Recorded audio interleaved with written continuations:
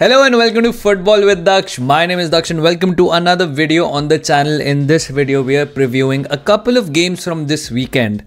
देखो इसमें तो हम बात करेंगे ऑब्वियसली आर्सनल की who are currently third in the table and Arsenal का एक काफ़ी डिफ़िकल्ट रन था in the beginning part of the season we started against Wolves उसके बाद हमने ब्राइटन खेली. विला खेला हमने अवे स्पर्स खेला है अवे मैन सिटी अवे खेला है. We had a very very difficult run फिर ये डिफ़िकल्ट रन चैंपियंस लीग में भी कंटिन्यू हुआ जब हमने एटलांटा अवे खेला फिर हमने पीएसजी खेला and I think it was only last game week in the Premier League that Arsenal का रन थोड़ा ईज अप हुआ जहाँ पे हमने लेस्टर सिटी को खेला था जो हम एक फोर टू की विन से जीत गए थे of course in that game वो गेम हम टू ने लब थे फिर वो two two Arsenal eventually ended up winning four two Since then, we won against PSG. And now Arsenal play again Southampton now Southampton अभी इस पॉइंट पे टेबल पे नाइनटीन पे है. सेकेंड लास्ट पोजिशन पे they are just above Wolves in the table and that is probably because Wolves का schedule थोड़ा सा मुश्किल रहा है and they probably have had the toughest schedule Wolves and like Southampton are on one points but they have been absolutely terrible मतलब उनका G D I think minus nine है. They are terrible from set pieces. They can't finish chances, and the only point they've gotten is from drawing a game against fellow relegation candidate of a newly promoted team, Ipswich Town.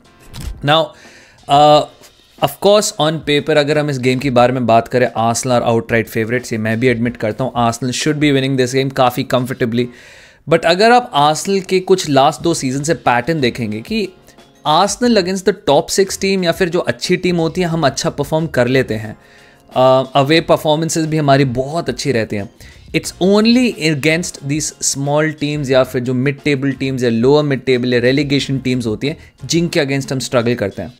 दो season पहले जब Arsenal were in the lead against Manchester City in the title race we ended up dropping points to Southampton very uncharacteristically उसी के बाद हमारा in fact collapse काफ़ी ज़्यादा शुरू हुआ था।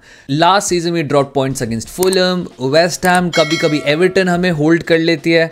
And Arsenal's biggest issue is to get these points from the teams they are definitely supposed to beat. जब आर्सनल आर आउटराइट फेवरेट्स जब उन पर प्रेशर आता है डिलीवर करने के लिए आर्सनल वहाँ पे स्ट्रगल करते हैं। एंड यही एक सॉर्ट ऑफ़ स्ट्रीक हमें इस सीज़न ब्रेक करनी पड़ेगी।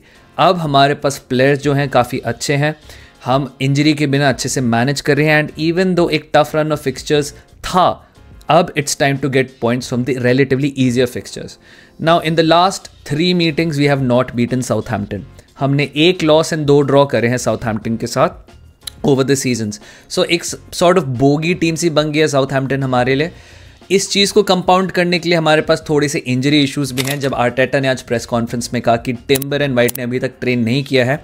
अगर आज ट्रेनिंग हुई होगी तो आज एक डिसीज़न बनेगा कि क्या टिम्बर एंड बेन वाइट आ सकते हैं स्क्वाड में।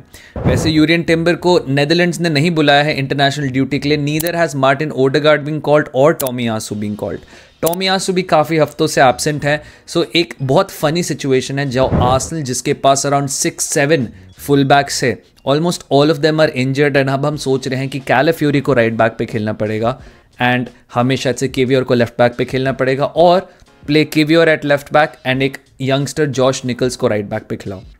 It's a very very crucial game for Arsenal and I feel Arsenal को इस गेम में काफ़ी स्ट्रॉन्ग जाना चाहिए। इंटरनेशनल ब्रेक आ रहा है, हम थर्ड हैं टेबल पे।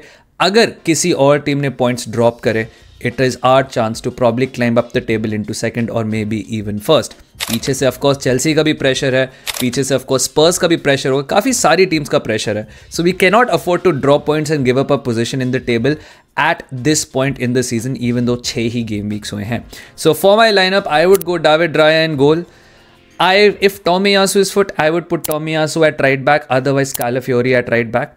Centre backs will be Gabriel and Saliba, no doubts about it. Left back will be Jakub Kivior or Calafiori depending on who the other right back is available. इस गेम में Thomas party मेरे हिसाब से has earned a place on the squad because of his fantastic performance against PSG and उनके साथ होंगे Declan Rice Leandro Trossard to play in that ten slash nine role जिसको हम नाइन एंड हाफ कहते हैं लेफ्ट पे Gabriel Martinelli who I expect to bag in this game although I would not be opposed to Raheem Sterling as well Right पे Saka and number nine Kai Havertz इस game पे I think at plan substitution होना चाहिए, जहाँ पे हम Mikel Merino को भी इंट्रोड्यूस करें।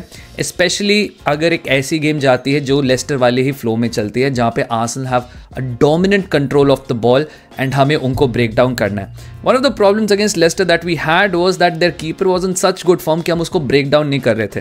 And we started conceding some very shoddy goals out of nowhere एक डिफ्लेक्शन एक wonder goal so our concentration needs to be there our hundred percent all the time बाकी अगर हम टीम्स की बात करें, जल्दी से प्रिडिक्शन ही जल्दी से कर लेते हैं। I think Liverpool play against Palace in the early kick off now even though it's an away game and Palace can be a tricky customer I think Liverpool have this in the bag. Arne Slot looks absolutely fantastic. Only lost one game in the league. They're at the top of the table and I expect to be honest Liverpool to continue the domination and wo Palace ko hara denge. It'll be a 3-0 for Liverpool for me.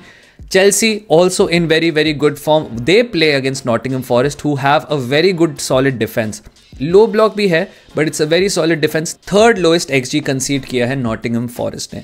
So so, Chelsea के लिए एक sort of challenge होगा but I think attacking talent through Cole Palmer and Neto and Jackson इतना ज़्यादा attacking talent है उनके पास. मेरे हिसाब से Chelsea will get through this game I will go actually for a three one win for Chelsea उसके अलावा अगर हम एक टीम की बात करें जो काफ़ी सुर्खियों में that is Manchester United now Erik ten Hag की जॉब लाइन पे there is no two ways about it I think Aston Villa के साथ एक ऐसा क्लैश हो सकता था अगर सीज़न अच्छा जाता यूनाइटेड का, जो डिसाइड कर सकता था अर्ली फेट में कि टॉप फोर रेस में कौन होगा। Aston Villa have been absolutely fantastic they just beat Bayern Munich and even though उन्होंने इप्सविच के अगेंस्ट अच्छा नहीं खेला था I think the aims for Aston Villa this season is a top four race for sure they will be there Spurs will be there and Chelsea will be there On the other hand, Manchester United have not started this season well. They are currently in the 13th position and उन्होंने छः games में से सात point लिए हैं the G D of minus three things are not looking good for Manchester United जिन्होंने अभी तक सिर्फ़ दो ही विन्स अदा करी हैं इस सीज़न में in the Premier League one was an opening day win and second उसके बाद उन्होंने साउथ को थ्री नील थ्रैश किया था. United have to turn things around but Aston Villa मेरे हिसाब से is a very tough challenge Unai Emery's team is a very well coached team and मुझे लगता है यहाँ पे एरिक टेनहाग थोड़े स्ट्रगल कर सकते हैं।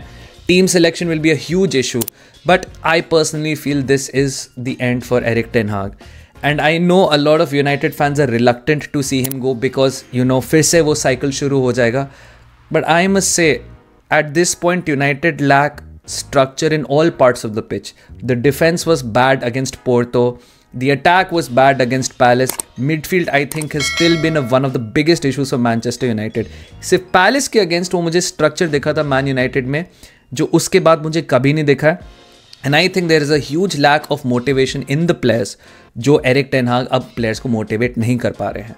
तो इसका अब कॉन्सिक्वेंस क्या हो सकता है? वेल well, फ़र्स्ट अगर हम गेम की बात करें I think it's a loss return for Manchester United now even though when I predict a loss Man United win I still think Aston Villa will back them at least two nil और three nil Watkins is in good form Morgan Rogers is in great form. John Duran is in superb form. But apart from that, I think defensively and midfield में भी Aston Villa काफ़ी अच्छा कर रही है।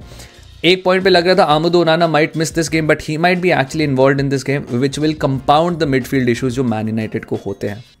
So what happens after this game I think he goes but इसके बाद जो मैनचेस्टर यूनाइटेड को एक डिसीज़न लेना पड़ेगा कि रिप्लेस कौन करेगा, वो बहुत बड़ा डिसीज़न होगा। Hiring Ruud van Nistelrooy for the rest of the season I feel is an admittance की ये सीज़न राइट ऑफ़ है. एंड आप सोचो कितनी इंसेन बात है कि seven games into the new season the season can be return of Ruud van Nistelrooy of course United legend है, उनको थोड़ा टाइम मिलेगा, उनको थोड़ा सा एडजस्टमेंट्स करने का मौका मिलेगा.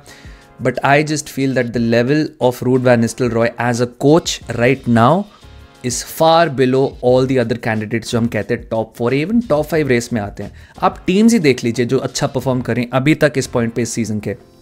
अभी यहाँ पे मैन सिटी है आर्सनल है लिवरपूल है Chelsea have superb run Spurs have superb run I think Villa भी अच्छा करेगी। इसमें तो अभी तक हम न्यू कासल भी नहीं जोड़ रहे, जो I think eventually as the season goes on will improve all together so there are at least six seven teams right now better than Manchester United and Ruud van Nistelrooy को hire करना makes sense from a logical point of view because assistant manager and he knows the club and he knows the standards but I also think it's an admittance की ये season write off है and seventh games में season write off करना मेरे को तो अच्छा नहीं लग रहा सुनने में.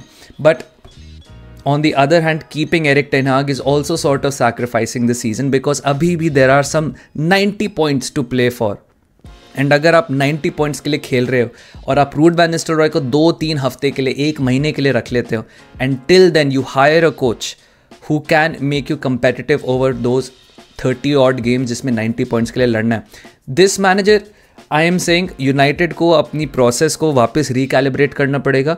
He does not have to win you the title he does not have to finish in the top three just fight for a top five spot in those 90 points that itself is a very tough ask for any new manager coming in to Manchester United अगर टेनहा के साथ continue करती है Manchester United काफ़ी bold choice होगा because अगर Erik टेनहा को रखने के बाद ये सीज़न कोलैप्स कर गया तो Christopher Vivell Ashworth Berrada Wilcox इन सब की जॉब लाइन पे होगी बिकॉज़ इन लोगों का डिसीज़न था कि एरिक टेनहाक के साथ कंटिन्यू करना।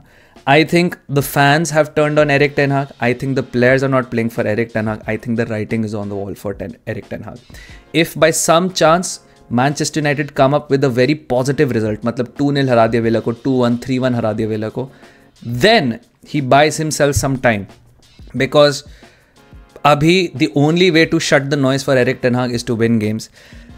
Unfortunately, Aston Villa is the worst opponent as of this point of time you can come across. A team that is high flying, a team that has a good coach, a team that has a solid structure, both from set pieces and in all parts of the pitch, defensively, midfield and offensively. तो देखते हैं Eric टेनहाग का क्या होता है but those are my prediction for some of the games जो इस हफ़्ते होंगी I will see you soon post match of the Arsenal game against Southampton and we will see some other streams as well. So see you soon. Talk to you later. Tada bye bye. See you.